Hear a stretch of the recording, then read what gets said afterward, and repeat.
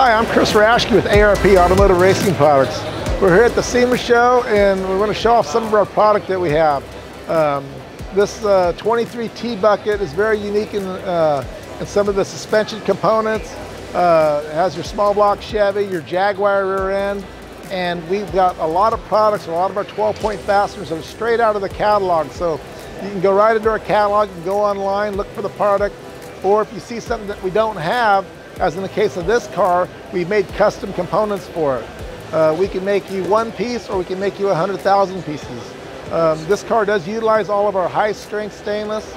It's all 20% stronger than a grade 8 bolt. Uh, to see more about these products, go to arp-bolts.com.